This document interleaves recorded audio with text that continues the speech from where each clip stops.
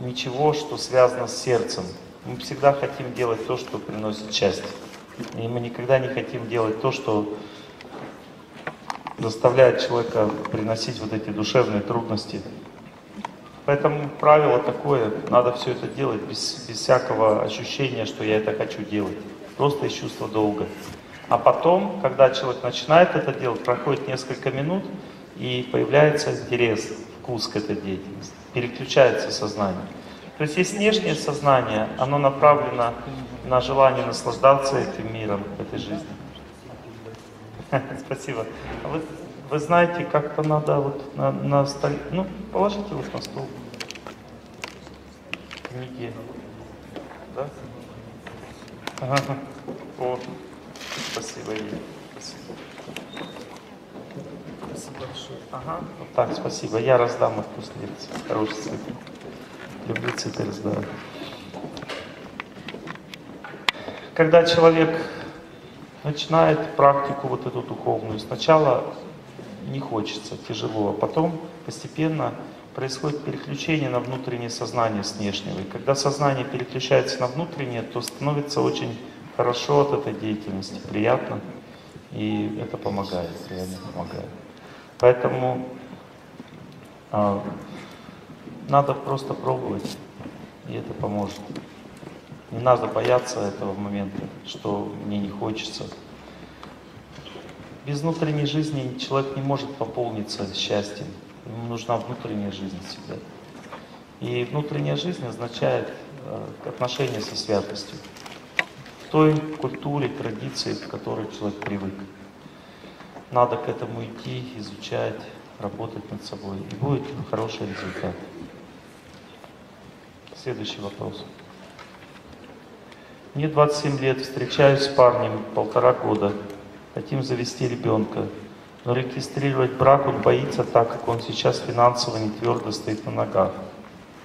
Стоит ли заводить детей, не дожидаясь регистрации брака?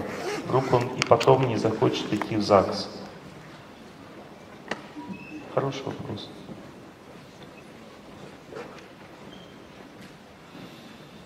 Это сложный вопрос. И в целом лучше поставить условие, что давай сначала в ЗАГС, а потом ребенка заводить.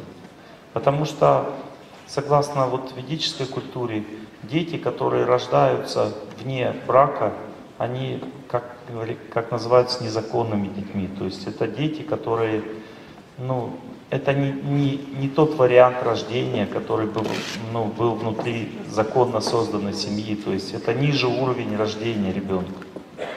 Это не значит, что этот ребенок всю жизнь будет ниже, как бы так, это неправильно думать, но в целом, конечно, лучше ставить условия близкому человеку, что сначала мы расписываемся, потом зачинаем детей. Это очень правильно. Это очень правильно. Но если он совсем не захочет расписываться, то не надо его бросать. И может быть через какое-то время придется зачинать детей. Это тоже нормально, потому что часто люди к тому, чтобы расписаться, идут очень долго. Им нужно много времени, чтобы дойти до этого момента, потому что часто люди не доверяют друг другу. Нехватка денег не является причиной. Скорее, э, ощущение опасности от этого мероприятия.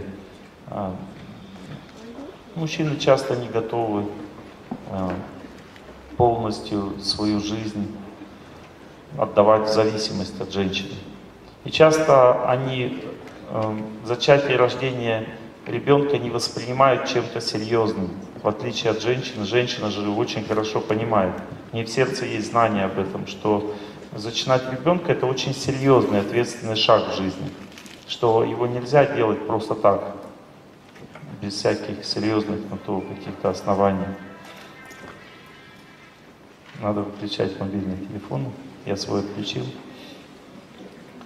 Итак, а, вот это очень важный такой момент, который надо понимать. И поэтому хорошо подумайте, все взвесьте, но если близкий человек не захочет расписываться, то не надо его бросать за это. Надо подождать еще какое-то время. Почему во время прочтения утренней молитвы возникает часто зевота? Потому что вы не включились в молитву. Зевота означает, что сердце не открылось, оно спит. Это решается с помощью некоторых приемов. Можно включить духовную музыку, которая вдохновляет. Нужно сесть прямо. Желательно не двигаться во время молитвы. Можно меньше есть перед сном, чтобы с утра был пустой желудок. Можно помыться под прохладным душем, чтобы не было зевоты. Это тоже помогает. И надо читать молитву, стараться от сердца. Зевота означает нет концентрации, невнимательно, невнимательное настроение.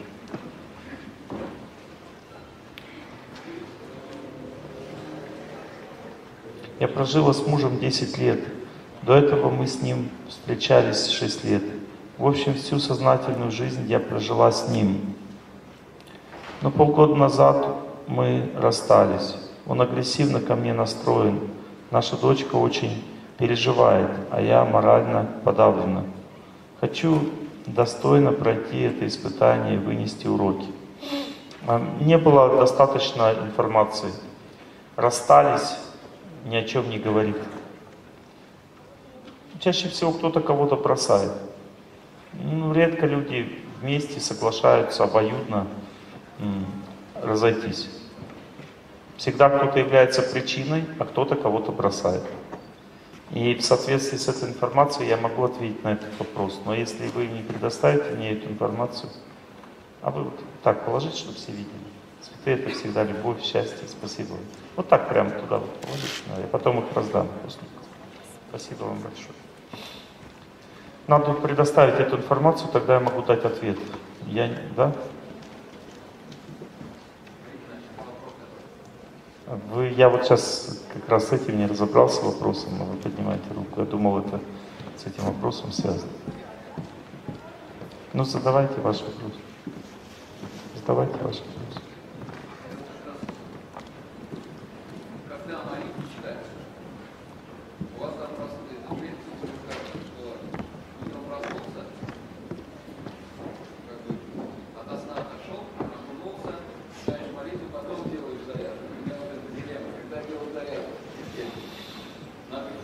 Если вы молитесь и спите во время молитвы, то до молитвы. А если у вас молитва вдохновенная, то после. Да, но мыться, омовение всегда до молитвы надо.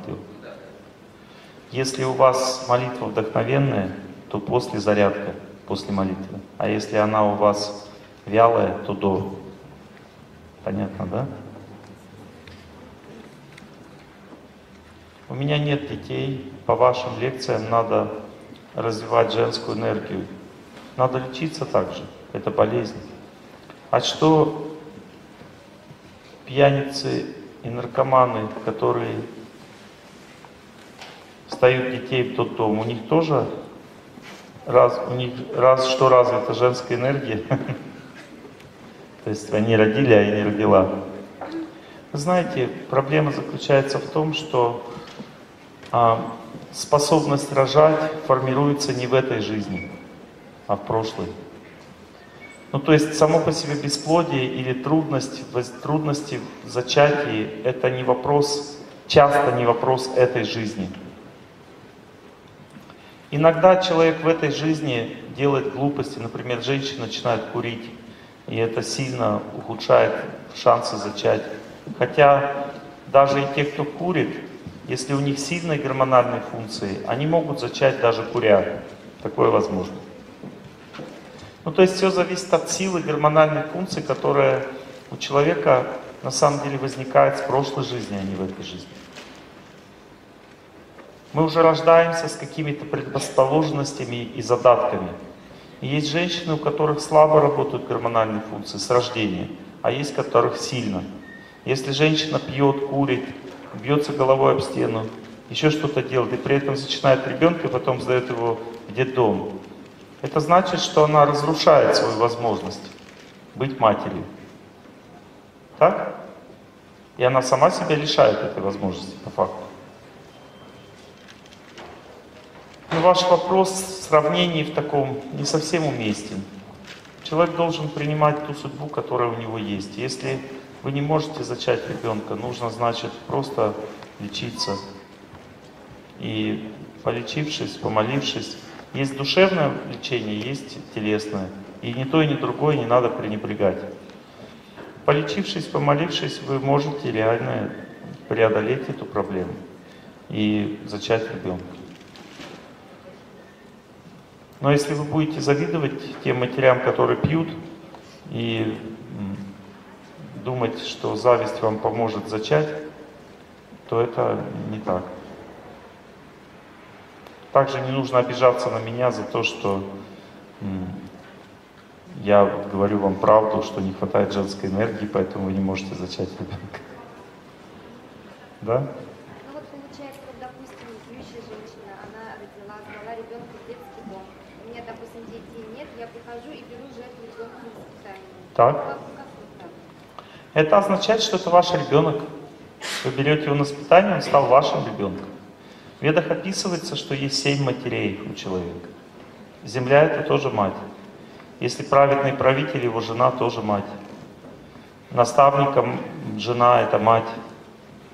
Мать родная это мать. И та женщина, которая кормила грудью на всю жизнь, тоже мать.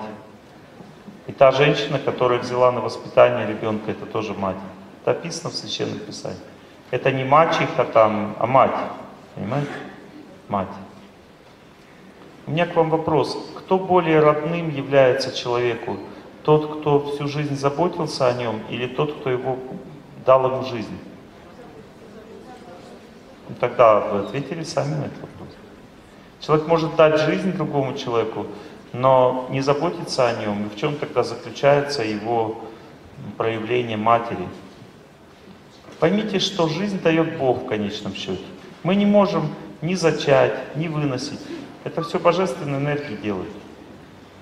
Мы же не выращиваем там этого ребенка в утробе. Или вы его выращиваете там, собираете по клеточкам. Нет, вы просто ходите с ним внутри, и все.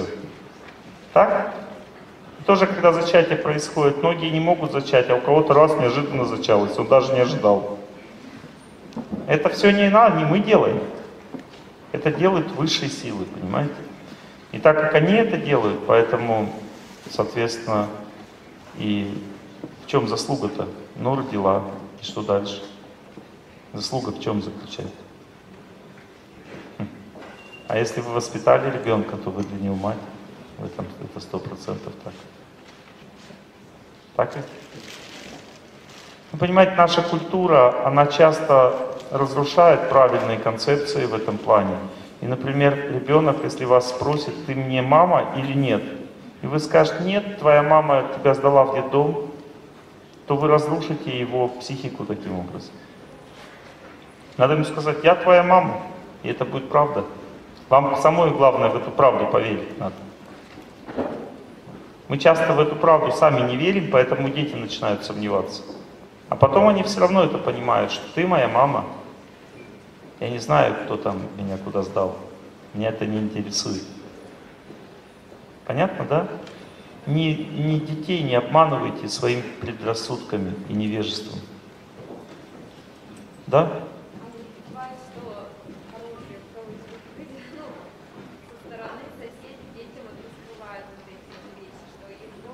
А вы не давайте детям об этом, э, соседям об этом информацию. Как они же, они же видят, ну, родственники, что там. Надо их попросить всех, чтобы не говорили об этом ребенку. А если они скажут, то надо сказать ребенку, что это неправда. Это они просто выдумали. Ребенок верит больше родителям, чем чужим людям. Но вы не сможете скрыть от него эту информацию. Поэтому надо давать ребенку соответствующее образование, объяснять, что мать это та, которая воспитывает, а не та, которая рожает.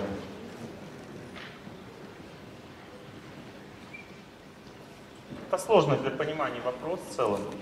Часто люди не понимают этих вещей. Как развить отцовскую любовь к дочке? Развелись год назад. Она, он нас бросил. Дочке 7 лет. Она его ждет. И любит. Непонятно, как поставлен вопрос, как развить отцовскую любовь к дочке,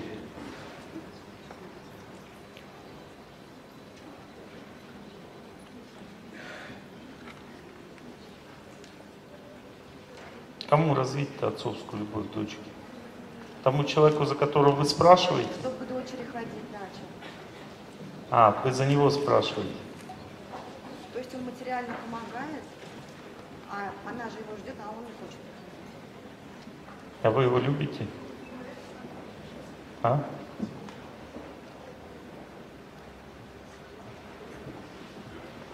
Вы желаете ему счастья в своем сердце? Он не приходит, потому что ему трудно к вам приходить. Мы 11 лет прожили, и он ушел в молодой сослуживец. Да. А теперь ему трудно к вам приходить, потому что есть такое понятие, как совесть. И совесть его не пускает. Вы его простите. Если вы его простите, он успокоится, будет приходить.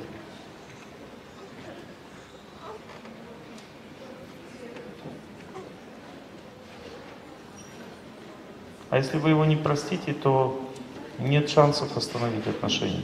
Он так и останется в тех отношениях. А если простить, он может вернуться. У вас есть такое по судьбе, что к вам может близкий человек вернуться назад. Вы должны путь определенный пройти. Он же не просто так ушел.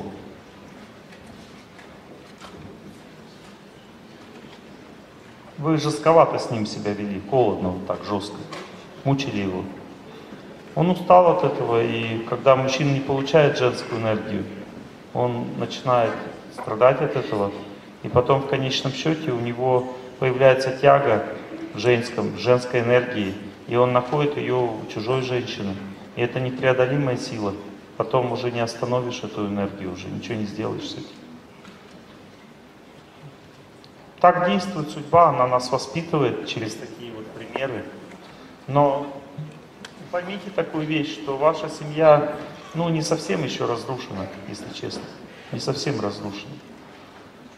Просто он боится вас сейчас. Боится вашего возмездия. Вот так. Вы, мне кажется, уже проявляли эту энергию возмездия на него. Нет еще? Ну, как-то он боится. Он не то, что он к вам плохо относится, просто он, ну, ему тяжело со- через совесть свою приступить. Вы начните в своем сердце устанавливать с ним отношения. Начните желать ему счастья, прощать. Когда вы почувствуете легкость сердца по отношению, сейчас у вас тяжесть по отношению к нему к сердцу. Когда вы почувствуете легкость, его потянет к вам назад. Поставьте себе срок два года. Я вижу, что через полтора года у вас начнется хороший период. Если вы полтора года ну, положите на это, чтобы сердце соединить свои сердца, как бы хорошие отношения установить, то через полтора года есть вероятность, что он потянется к вам и вернется. А там у него в это время будут трудности как раз. Такое возможно в вашей жизни. Спасибо вам большое. То же самое мне отвечала Богородица, когда я у нее просила все те слова, которые вы сейчас мне произнесли. Ну хорошо, значит, Господь из моего сердца тоже отвечает мне. Так же, как вам из вашего.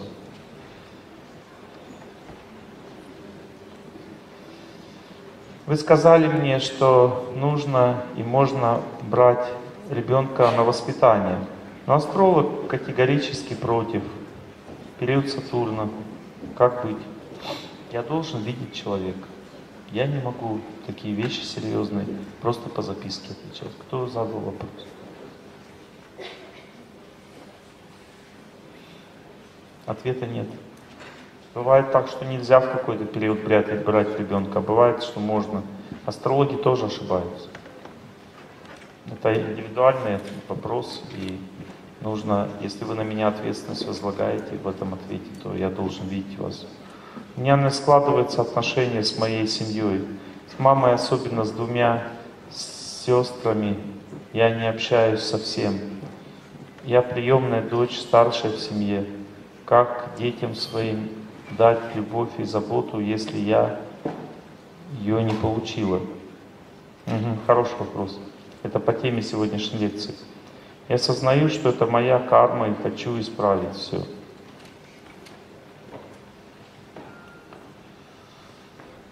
Хороший вопрос. Бывает так, что в семье человек не получает заботы и любви. Это не значит, что у него в сердце никогда не будет заботы и любви. Это просто наказание, которое пришло с прошлого. Но сердце у всех женщин заботливое и любящее. Надо развиваться духовно. Просто попытайтесь понять такую вещь, что а, в обычной жизни, в жизни в страсти, люди в основном связаны друг с другом только через родственные отношения. И близкие чувства испытывают только к родственникам. Поэтому создается впечатление, что любви не может быть таких близких, глубоких чувств ни с кем, кроме родных. Поэтому люди так держатся за родных, думая, что нет других вообще вариантов каких-то близких отношений. Но когда люди начинают заниматься самосовершенствованием, приходят к духовной жизни, то они находят какую-то свою веру, духовную традицию, и там у них появляется своя семья. Эта семья духовная, она отличается от семьи обычной тем, что в духовной семье меньше корыстных отношений. Там тоже есть корыстные отношения какие-то, но их меньше гораздо. Там больше отношений построено на бескорыстии, честности и чистоте. И в этой семье можно проявлять свои женские качества, развивать их. И таким образом а, учиться в этих отношениях передавать эти качества также детям. Дети будут видеть вашу любовь к вашим соратникам духовным. Также следует знать, что мать, наставница, которая является духовной матерью, она выше по материнским качествам, чем родная мать. Веды считают, что духовный учитель или наставник, или наставница, они находятся ближе в отношениях с человеком, чем его родные родители. Причина заключается в том, что близость человека с другим человеком возможна только в том случае, если есть духовная сила. Сама по себе близость, возвышенная близость, не телесная, а возвышенная близость, возможно только когда человек проявляет духовную силу, Часто мне слушатели лекций говорят, что Олег Геннадьевич, я с вами очень близко знаком, хоть вы меня не знаете. Каждый день слушаю ваши лекции. И у меня с вами очень глубокое взаимопонимание, близость. Это духовная близость. У кого такое чувство складывается? Поднимите. Видите, я многих вас не знаю, но это духовная близость. Я уверен, что мы с вами близки в сердцах без всякого сомнения. И эта близость рождает те же самые отношения, что и родственники. Это родственные отношения, близкие отношения. И эти отношения выше, чем отношения, которые складываются внутри э, семьи, потому что в семье часто они имеют эгоистическую природу. А духовные отношения, они бескорыстны. Мне, например, от вас ничего не надо. Если вы просто слушаете мои лекции, я вам очень благодарен за это на всю жизнь. И мне, в общем-то, от вас больше ничего не надо. Некоторые думают, что я зарабатываю на этих лекциях. Но я не зарабатываю на этих лекциях. Эти лекции идут на духовные цели, деньги с этих лекций. Я же себе на содержание беру минимум. У меня даже нет своего дома. Я снимаю квартиру, я снимаю жилье. Я живу очень скромно и счастлив в своей жизни. Беру столько, сколько мне нужно для жизни. А все деньги с ваших лекций идут на духовные цели. Поэтому и в этом плане тоже как бы, нет никакой эксплуатации, то, что вы сюда пришли.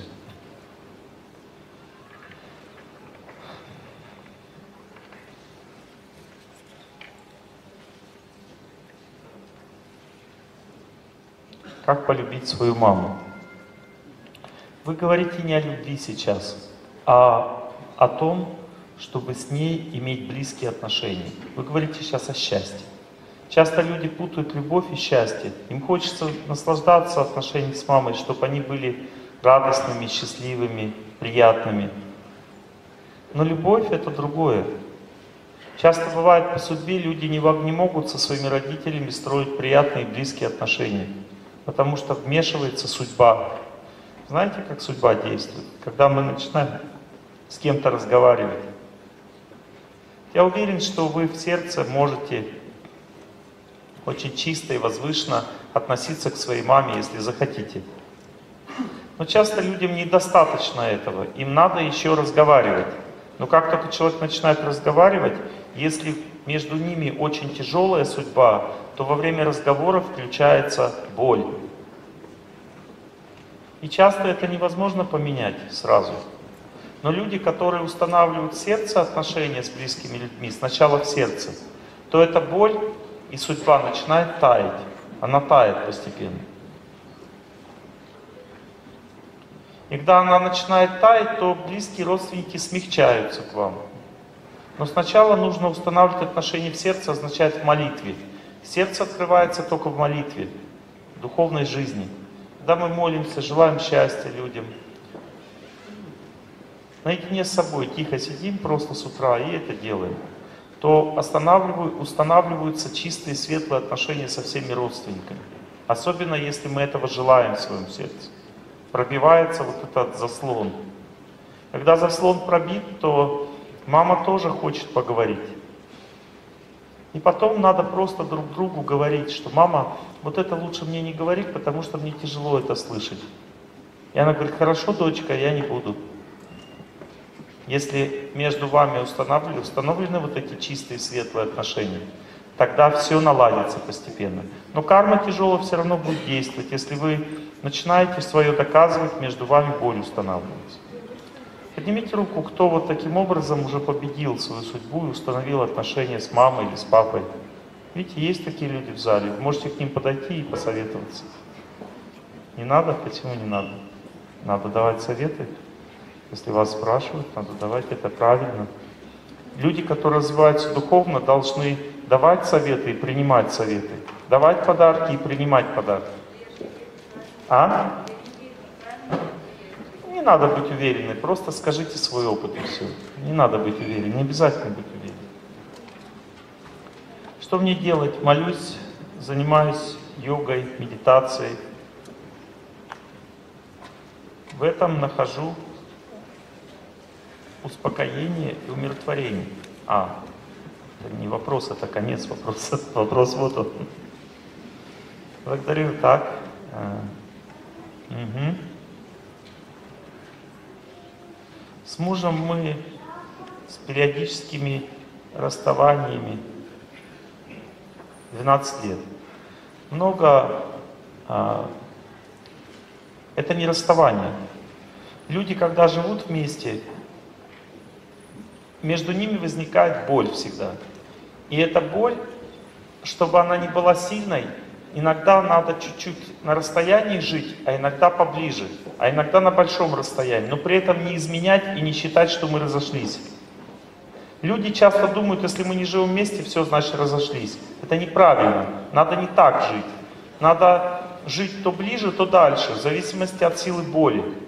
Когда много боли в отношениях, надо жить подальше внутренне, не общаться, допустим, но в сердце желать счастья, тоже будет такая же близость.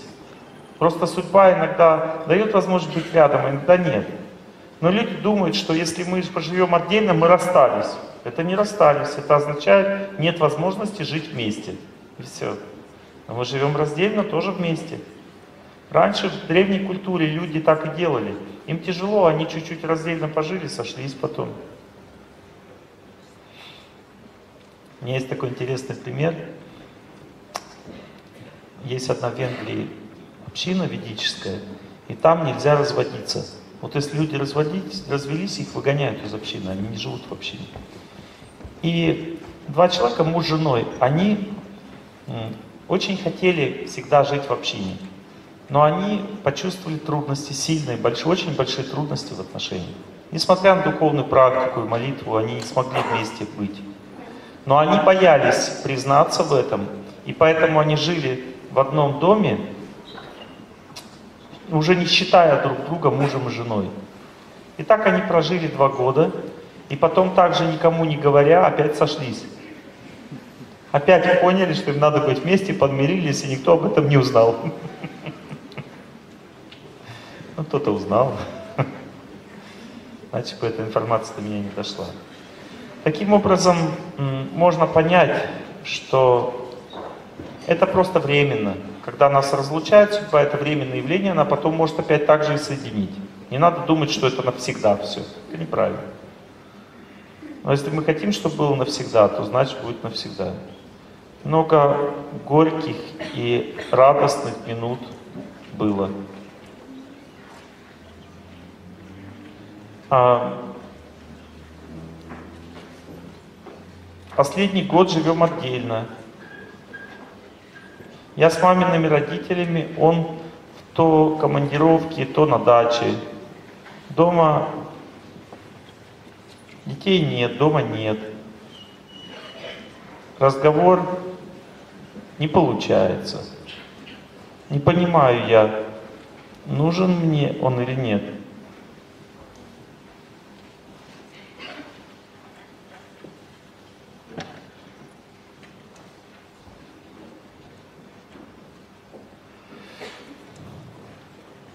Надо ничего понимать. Дал Бог человека и живите. Придет время, заберет, если он захочет. Но не надо к этому стремиться.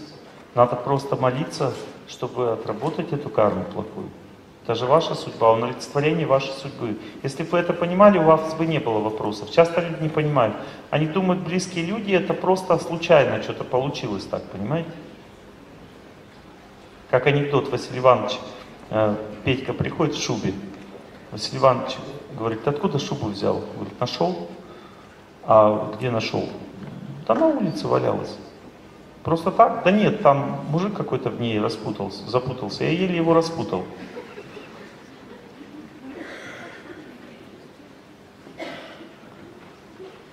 Понимаете, это не запутался мужик в шубе, это его шуба была.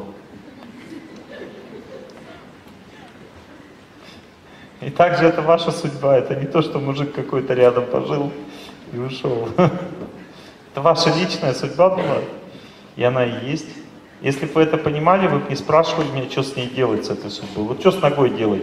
Вот с ногой что делать? У меня нога больная. То болит, то не болит. А сейчас вообще отваливается. Что с ней делать? Отрезать надо и выкинуть, что с ней делать? А если вторая заболит, вторую отрезать, выкинуть. Кто на руки отрезать и голову. Понимаете, как бы странно, что мы руки, ноги не отрезаем. Мы отрезаем часто свою судьбу, ее же не отрежешь, она все равно вернется. Понимаете? Так зачем тогда пытаться это делать? Ну, просто у нас нет знания, что такое судьба. Да не надо нести записки, уже гора, а мне лекцию прочитать.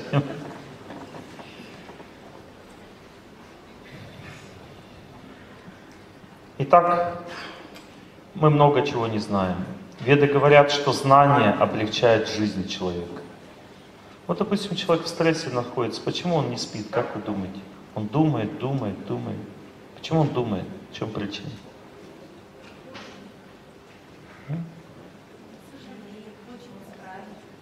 Он, вот если спросить человека, почему он не спит, когда он в стрессе, он вам один тот же ответ даст. Я хочу понять, что делать. Я хочу понять, что с этим делать, как с этим жить. Стресс означает непонимание. Вот человека бросили, допустим, он не знает, что делать дальше. Незнание является причиной страдания. Но есть только один ответ на все эти вопросы, только один. Когда тебе плохо, ты не должен ничего делать, кроме того, чтобы соединить себя со святостью. Потому что тебе не хватает счастья, поэтому ты не спишь. Тебе нужно счастье. А счастье в этом мире, оно приходит, то уходит. В личной жизни, в отношениях, в работе, в здоровье, во всем. То приходит, то уходит. Когда его нет, люди мучаются. А надо просто понять один факт, что приходит счастье или не приходит.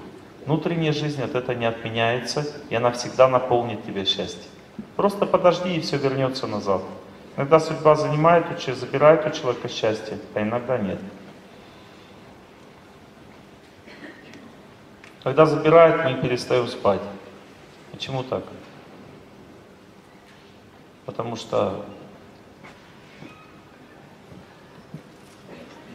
мы не знаем, что делать в это время. А если бы мы знали, что нужно просто думать о Боге в это время, переключаться на внутреннюю жизнь, когда внешне не получается, тогда бы не было проблем. Тогда все было вставало на свои места. Вы услышали ответ?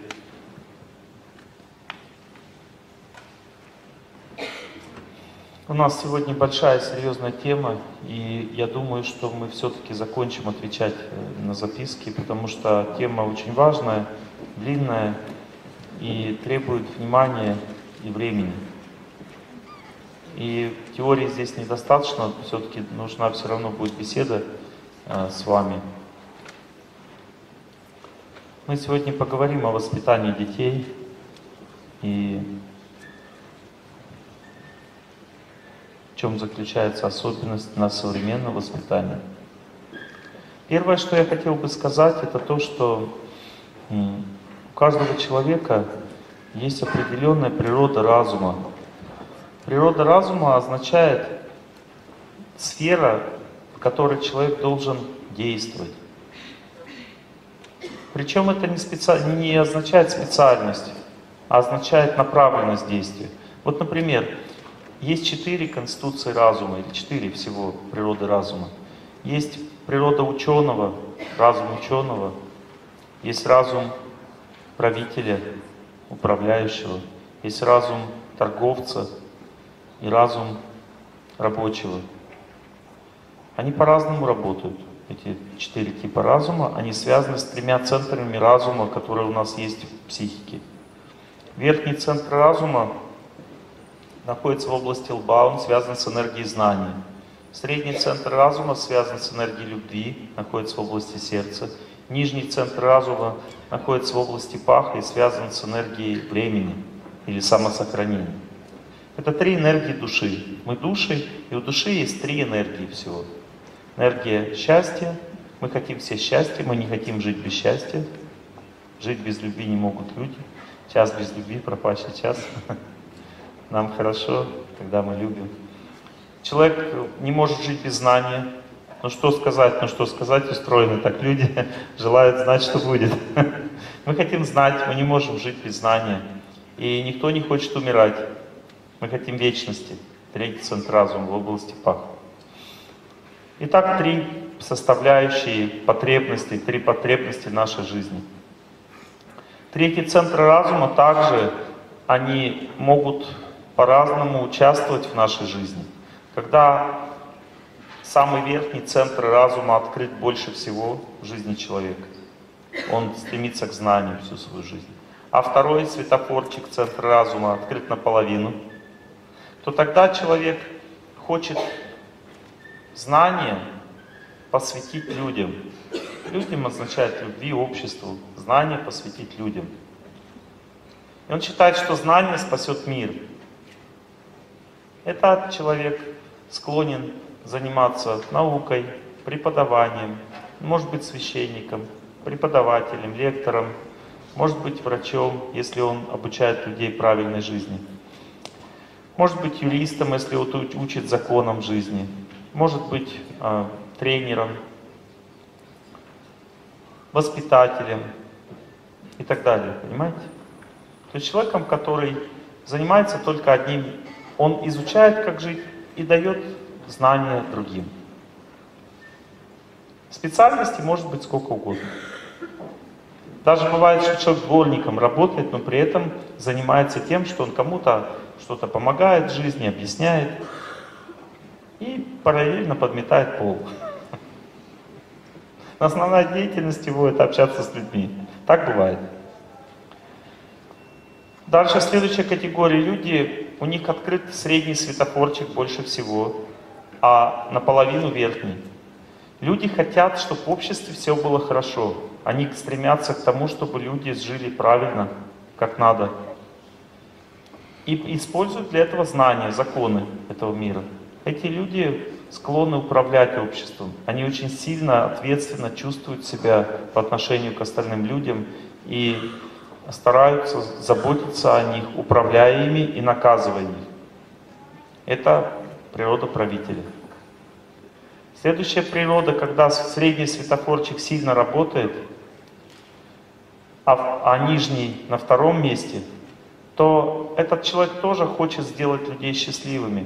Но если вторая категория пытается сделать людей счастливыми через соблюдение правил и законов, то третья категория людей, это торговцы, они хотят сделать людей счастливыми через богатство, через деньги. То есть они хотят обогатить это общество, они хотят сделать его самодостаточным. И в результате они трудятся, именно создают отношения, связи какие-то с людьми с целью извлекать прибыль. Отношения, связанные с прибылью. И четвертая категория людей, когда нижний светофорчик больше всего открыт, работает, а, а средний наполовину. И эти люди, они хотят найти себе стабильность жизни. Их цель спокойствие, стабильность. То их, их цель — это любимый труд, любимая какая-то деятельность. И они с помощью этой деятельности хотят людям приносить добро. Но их цель именно вот найти себе хорошую работу, творческую работу и приносить пользу с помощью этой работы другим людям. Взять, допустим, специальность врача. Если человек по природе ученый, то кем он становится? Он пропагандирует здоровый образ жизни. Так? Если человек по природе а, управленец, кем он становится? Да, он становится директором, там, э, главврачом или еще кем-то. Если человек торговец по природе, кем он становится? Он распространяет различные препараты, работает в аптеке. Понимаете, да? А если человек имеет четвертую природу, кем он становится? Врачом, который лечит людей. Фармацевт – это третья категория. А четвертая – это просто человек, который просто людей лечит, помогает им, заботится об их здоровье. Просто спокойно лечит, любит свою работу. Понимаете, да, эти четыре категории. Следует знать, что разум с бухты-барахты не открывается и не закрывается. Каждый светофорчик, его открытость поддерживается многие жизни – и если человек в прошлой жизни был ученым, он в этой жизни тоже таким же рождается. И в следующей родится таким же. Переключение с одной категории на другую переходит очень медленно.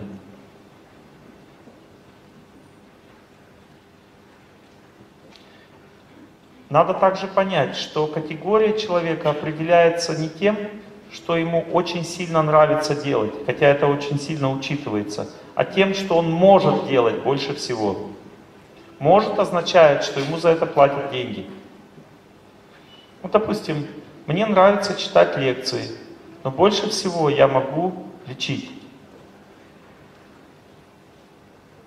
Понимаете, это уже есть разница в этой категории.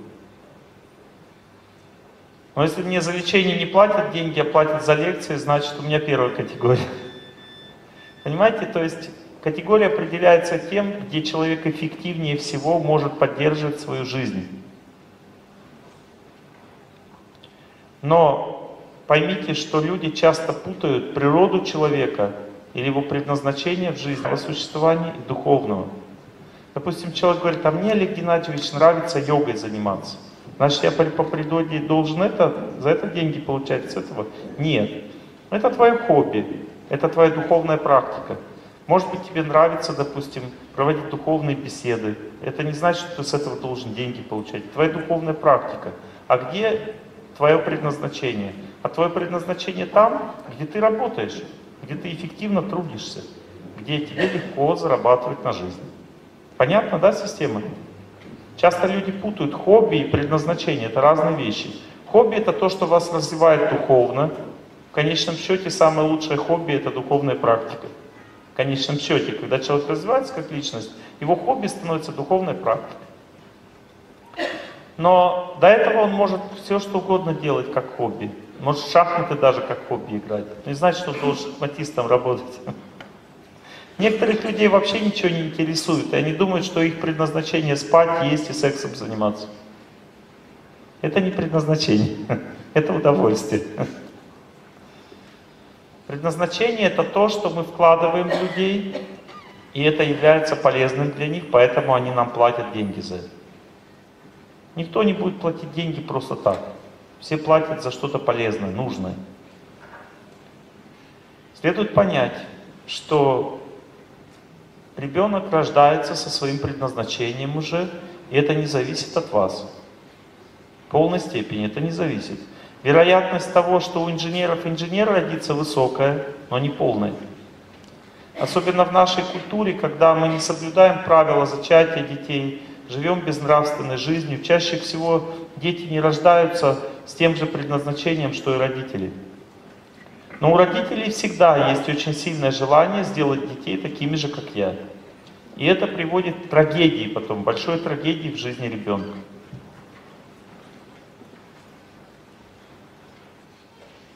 Есть еще такие трагедии моды. Например, сейчас очень модно всех делать менеджерами, юристами, а, экономистами и э, специалистами по международным отношениям. Но сколько у нас в обществе настоящих менеджеров, э, экономистов, э, бухгалтеров и специалистов по международным отношениям? Очень мало. Люди в основном не работают по этим специальностям, хоть они и престижные. Но родители чаще всего даже не удосужились понять, в чем природа ребенка. И есть причина на это. И причина та же самая. Это страсть или невежество. Объясню, как действует страсть в воспитании ребенка. На вашем собственном примере. Вы сейчас себя узнаете. Вот смотрите, есть определенная логика родительская, которая всегда приводит ребенка к поражению в его жизни. Вот ребенок по литературе пятерку получил, а по математике тройку. Кто будет больше уделять внимание литературе из вас? Поднимите руку. Ну, несколько человек. А кто математики? Поднимите руку, честно. Остальные что, воздержались вообще, что ли? А? Одинаково или больше математики все?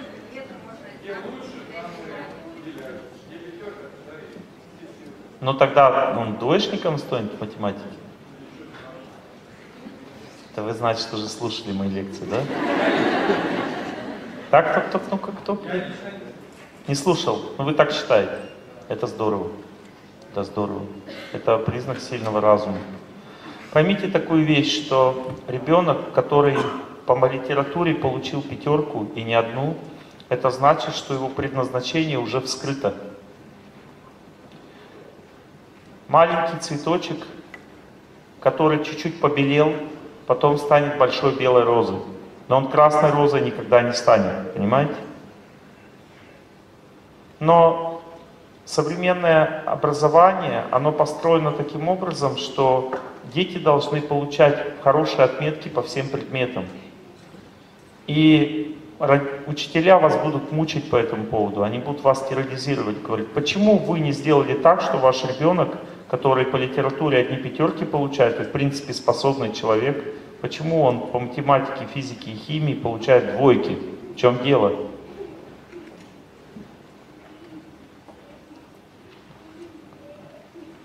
Интересно знать, что воспитание ребенка строится по системе пирамиды. Вот смотрите, если литература, литература пятерка, это верхняя часть пирамиды. А математика, физика, химия стоит по бокам. Способность учиться человека зависит от его энтузиазма к учебе и счастья, которое он испытывает в учебе. Как вы думаете, где счастье у ребенка заложено в учебе? В литературе или в математике в этом случае? В литературе, потому что там пятерка. Там его счастье и там его талант. Так? И как вы думаете, что ему в жизни больше понадобится, математика или литература?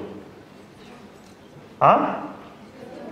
Литература на 100%. Литература на 100%. Потому что куда идет природа человека, там он будет действовать. Никогда не будет математиком. Никогда. Это стопроцентный факт. Потому что так действует природа человека.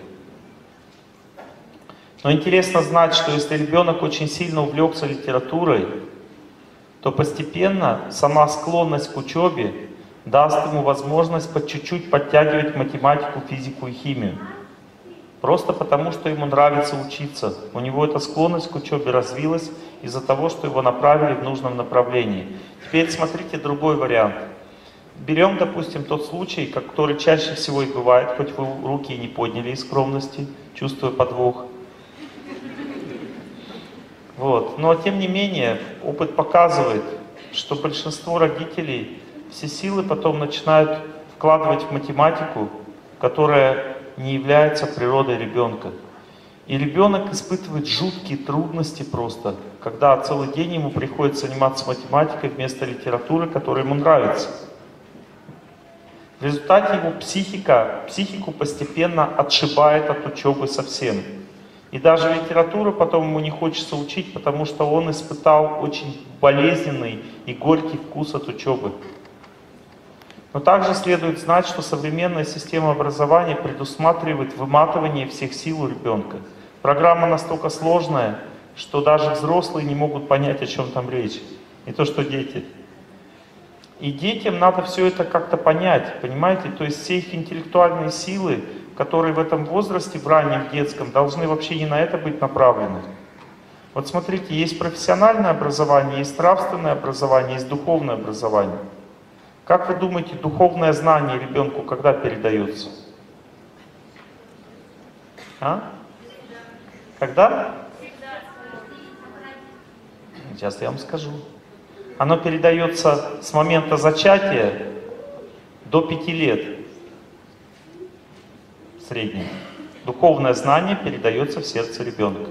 Как это происходит? Через молитву родителей, через их поведение. Духовное знание самое трудное для понимания, и оно передается ребенку просто с молоком матери.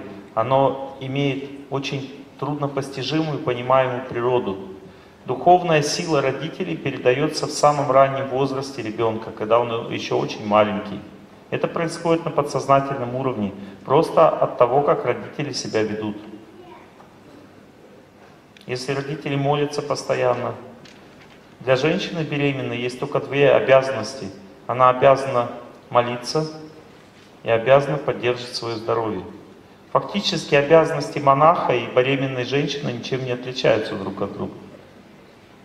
Беременная женщина – это человек, освобожденный от всех обязательств общества, кроме здоровья и молитвы. Мама. Таким образом, дается возможность ребенку сильно развиваться внутриутробно, уже духовно, он получает духовное образование, духовное знание до пяти лет, когда сердце очень чистое, открытое. Если вы пришли очень рано на лекцию, то вы слышали первую записку. Олег Геннадьевич, я в детстве очень сильно любила молиться, думать о Боге, а потом у меня пропал к этому вкус. У всех пропадает вкус. Если у ребенка родители верующий, то ребенок успевает в детстве почувствовать этот вкус, а потом он возрождается с помощью усилия, силы воли внутри. Мы не, не склонны сейчас прямо сесть и молиться. У нас есть внешняя жизнь, есть внутренняя жизнь. Внутреннюю жизнь надо всегда включать, а включать ее очень сложно и болезненно. Чтобы сесть молиться, надо себя заставить. Никогда не бывает так, что ты встал с утра, тебе захотелось помолиться. Всегда бывает так, что тебе захотелось новости посмотреть, еще что-нибудь покушать, поболтать. Но молиться никогда не хочется, надо себя заставить это делать. А люди не привыкли себя заставлять, свое сердце активизировать, не привыкли. Они привыкли заниматься чем-то другим.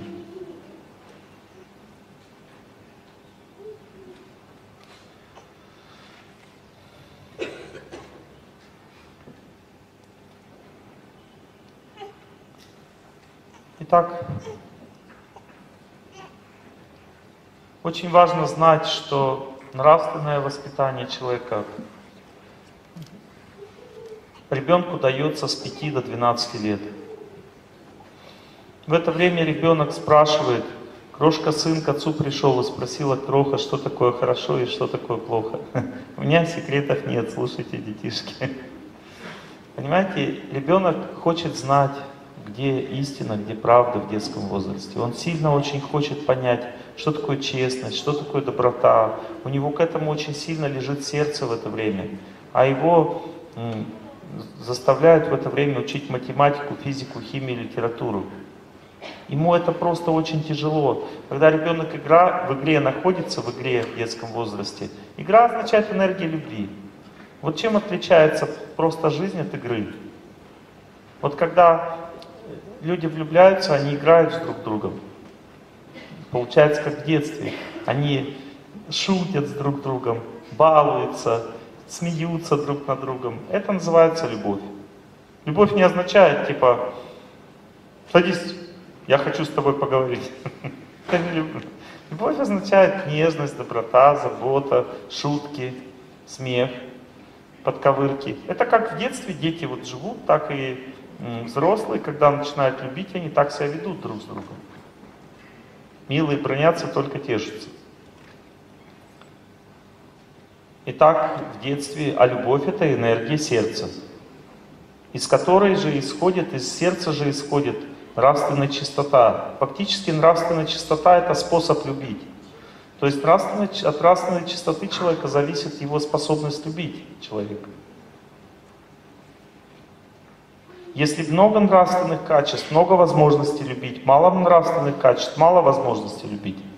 Часто люди спрашивают, почему я не научилась любить? Потому что ты училась математике, физике, химии, биологии в этом возрасте.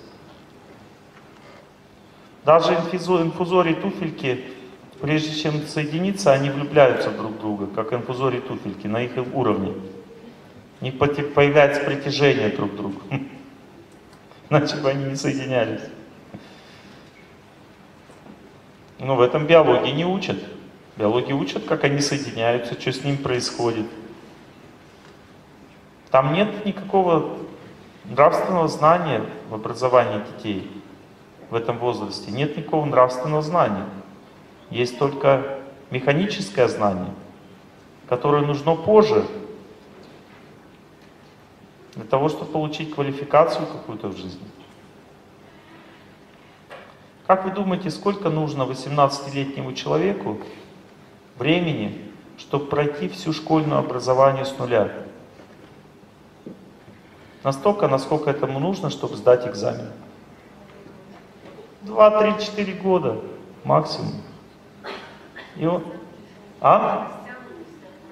Растянута, потому что она предназначена для маленьких детей сначала, потом для взрослых детей. Когда человек вызрел, он может выучиться, чему ему надо, очень быстро. Целую специальность может освоить за месяц, несколько месяцев. Был бы интерес, факт, был бы интерес. И причем взрослый человек знает, как учиться, он знает, что не надо всю эту Анну Каренину зубрить. Там. Дети ведь не знают этого, они боятся что-то пропустить. Они все учат там, э, как эти инфузории туфельки закупляются, сколько там чешуек у змеи на, на этой. Они все наизусть учат. Зачем это надо? Это в жизни никогда не пригодится. Даже родители пытаются объяснить, говорят, да ты не учи так сильно, все это не нужно. С основные вещи, как бы знаешь, чтобы тебе сдать экзамен. А дети, они не, не понимают этого, у них в сердце вот есть эта честность, им надо все это выучить, и они заполняют свою голову всякой дурью, которая им никогда в жизни вообще не понадобится. Эти какие-то там э, крестовые походы по годам, надо знать. Ну нахрена они мне нужны, эти крестовые походы?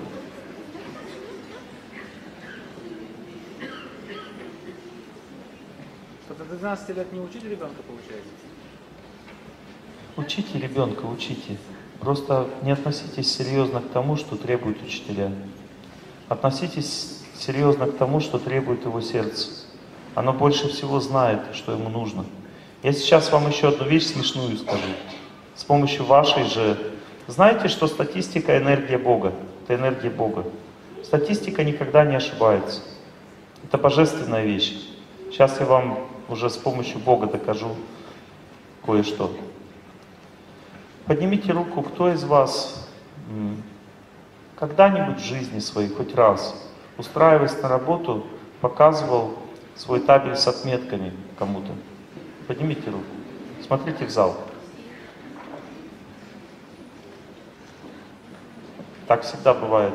5-6 человек из 500.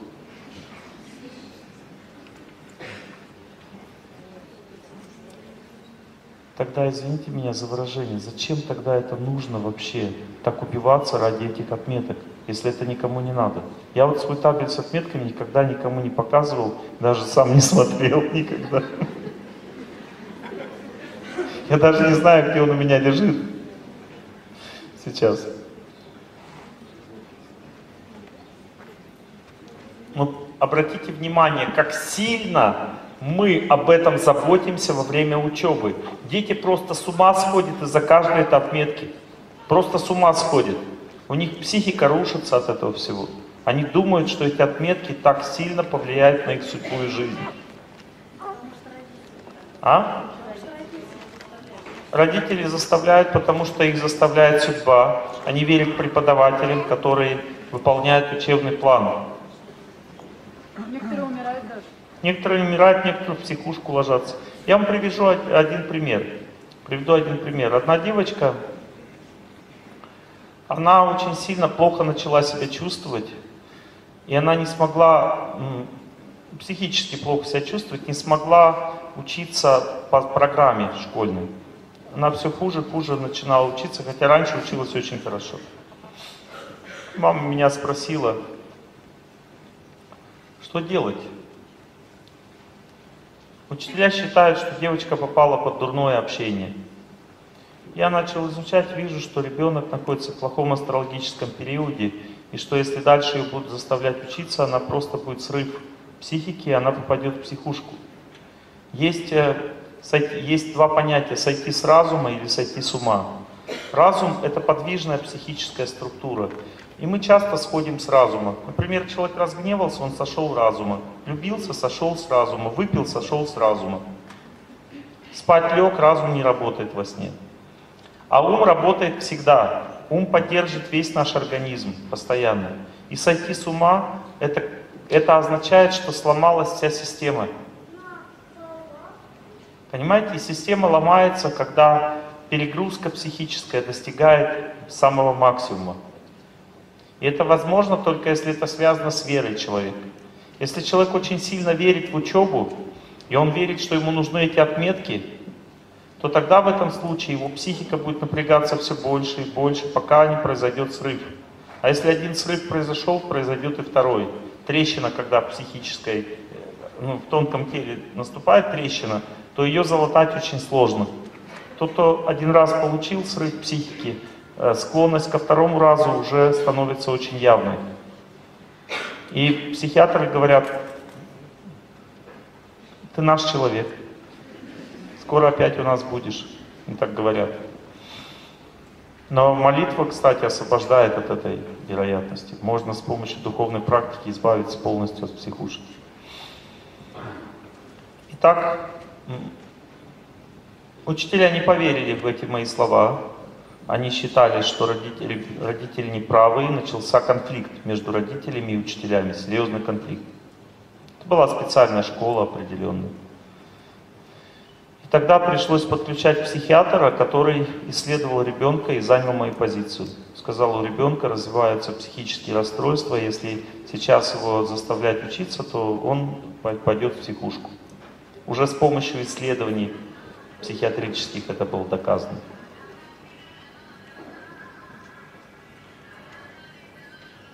Когда психиатр это сказал, мама реально испугалась. Хотя до этого она занимала позицию учителей больше. Теперь сразу я вам хочу задать вопрос.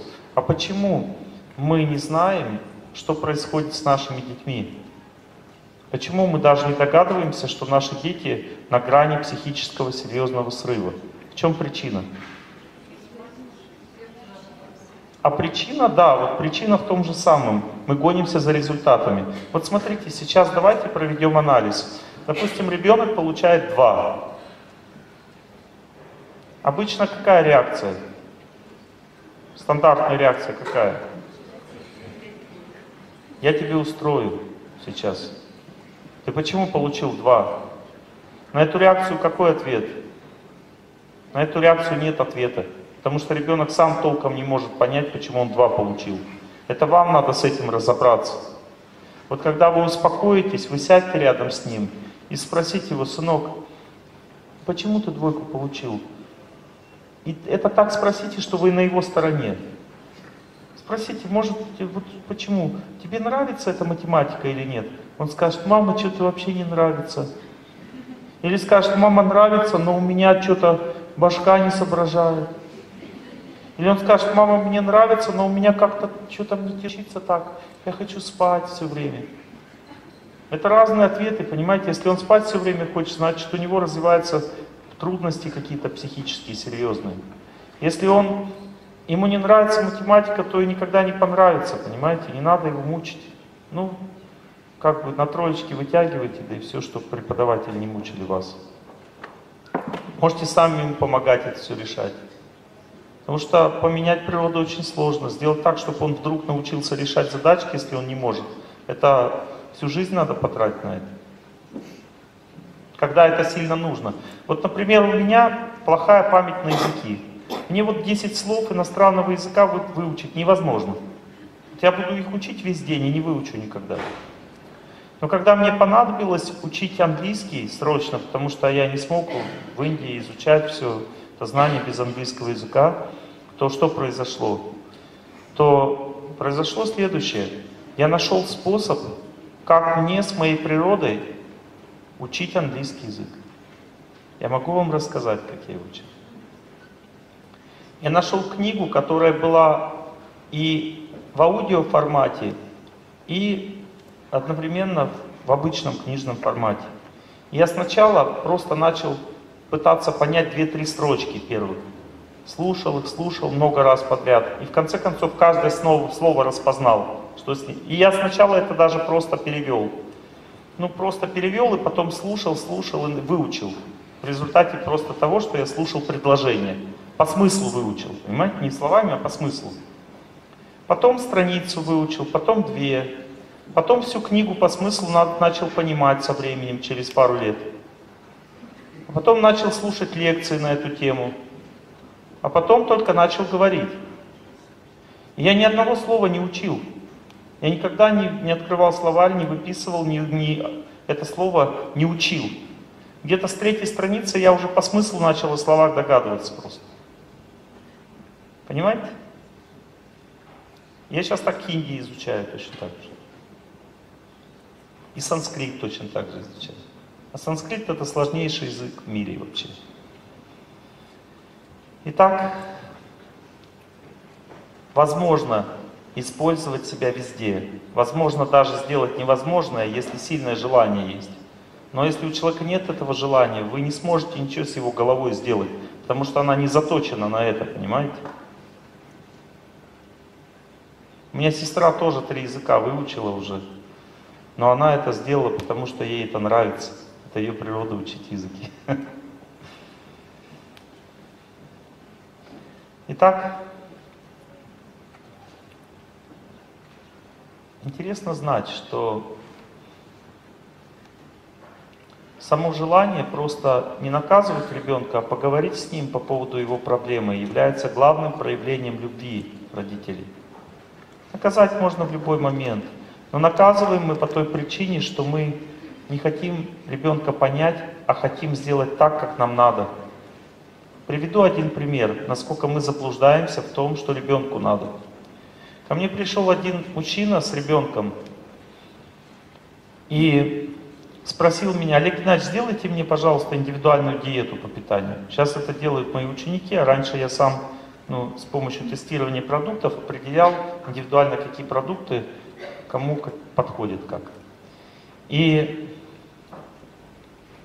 я сделал ему диету, и уходя он мне сказал, Ну вот теперь я знаю, что нужно кушать моему сыну. Я говорю, как же так, я это вам сделал? Он говорит, а он такой же, как я. Я ему сказал, давайте я вам бесплатно сейчас ему диету сделаю, пожалуйста. Он говорит, у меня мало времени, если быстро, то давайте. Я старался быстро сделать диету сыну, она оказалась прям противоположной его диете. И он так удивился, он говорит, я всегда считал, что ему нравится то, что мне нравится. А ребенок это все ел из любви просто. Из любви к своему отцу. Понимаете? И он говорит, теперь я понял, почему такой худющий у меня. Потому что у него ничего не усваивается. Он его не тем кормил просто. Это все частные случаи, но в целом система такая. Когда люди живут в страсти, они очень сильно хотят, чтобы дети были такими, какой, какими я хочу. Так же, как и мои родств... мой, мой муж, жена хочет, чтобы он был таким, как я хочу, и поэтому пилит его.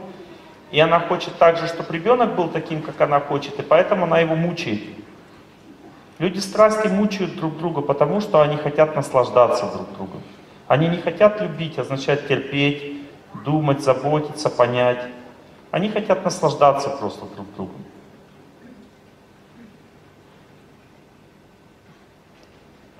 Для того, чтобы ребенка воспитывать, нужно войти в благость. Означает внутреннюю жизнь активизировать в своем сердце. Учиться молитву, прощать, просить прощения. Смотрите, ребенок сделал глупость какую-то. Если эта глупость грозит его жизни, надо просто его отдернуть от этого. Точно так же в ведах описывается, точно так же, как птичка в гнезде крылом не дает своему птенцу вылезти из, из э, гнезда и упасть и разбиться. Точно так же мать может отдернуть ребенка, ребенка, когда он выбегает на дорогу. Или запретить ему идти на улицу, где курят наркотики. Просто очень строгим, жестким приемом. Понимаете, о чем я говорю? Это не является отсутствием любви. Это не является также насилием. Например, если вдруг по какой-то причине у вас пропадет зрение, вы пойдете не туда, а вас кто-то схватит за руку и поведет в нужном направлении. Это будет насилием или нет? Но поймите, что у людей не работает разум. У них работает ум, сначала включается чувство, но разум формируется поздно очень. У человека разум включается нормально, начинает работать у женщин к 18 годам, у мужчин к 25, если они серьезно развиваются. А чаще всего в наше время у женщин разум к 25 годам, а у мужчин к 30 только начинает работать нормально. Почему? Потому что разум же никто не развивает. Развитие разума означает работа над собой, воспитание хороших э, качеств характера, нравственные беседы. Вот сколько в школе проводится нравственных бесед? Да их почти вообще не проводится сейчас. Или проводится? Ну, практически нет. Может быть, в каких-то школах и есть, но очень мало. Там где-то есть воскресные школы православные, там, но это раз в неделю всего. А ведь надо-то каждый день. Ведь это главное образование до 12 лет человека. Это то, что он должен получить в свое сердце, и тогда он становится сильной личностью.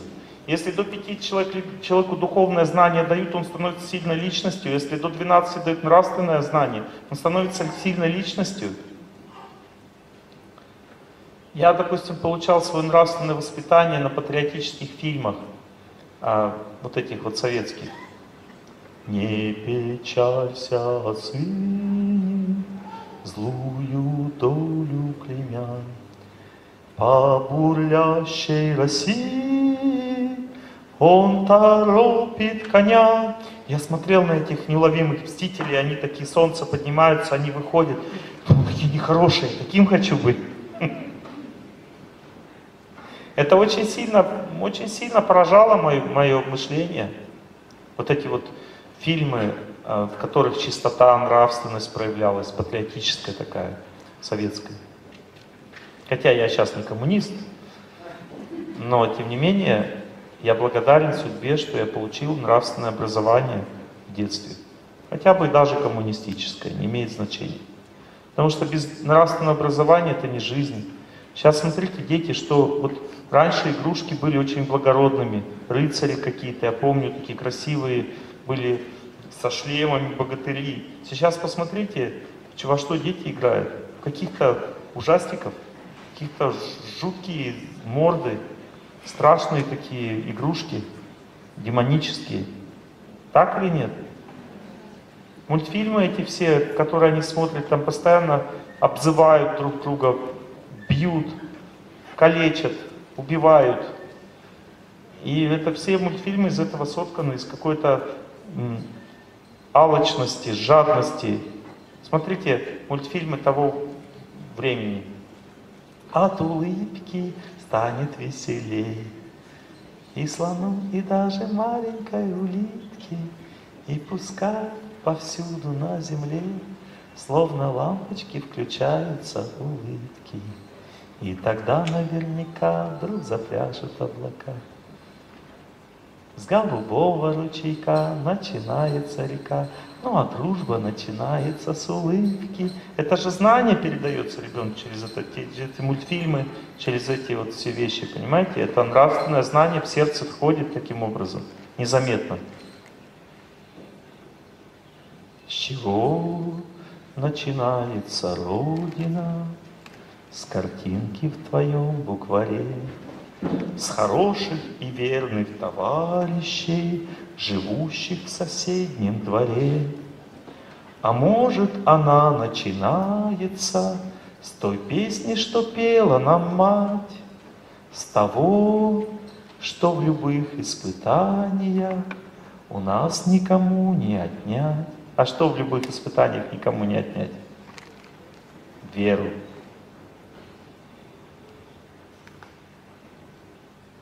Круто?